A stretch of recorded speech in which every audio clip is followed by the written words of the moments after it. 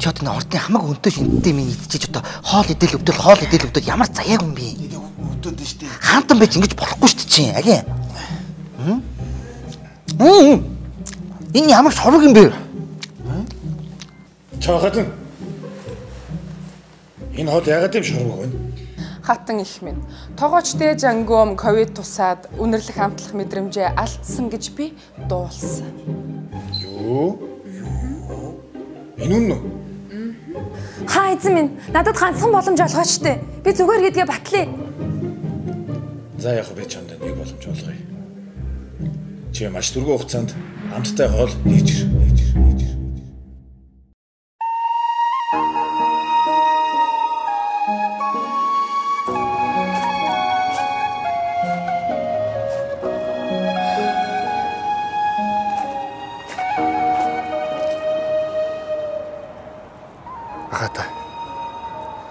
Таныг э, ковид тусаад амтлах үнэрлэх чадвар алдсан гэж толлоо.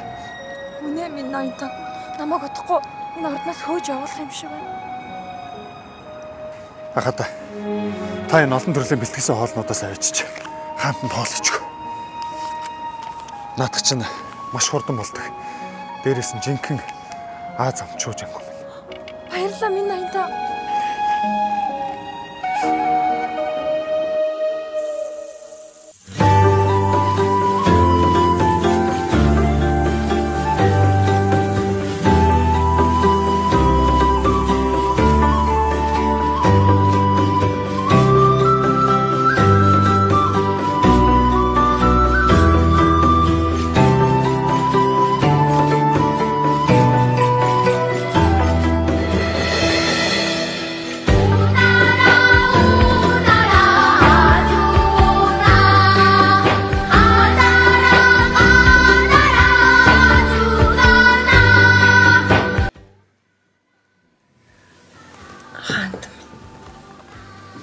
Нээжээ.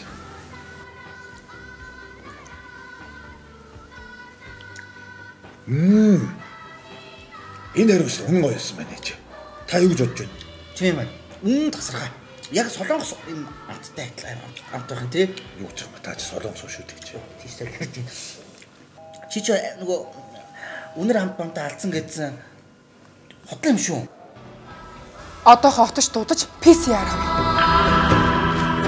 Эрүүл хооллолт эрч хүчийг эрхэмлэгч таны дэрт дорны их соёл дахин давтагдшгүй амтыг авчирна. Санси